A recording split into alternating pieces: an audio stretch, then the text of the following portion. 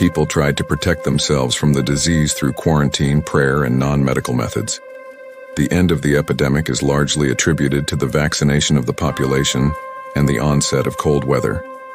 The aftermath of the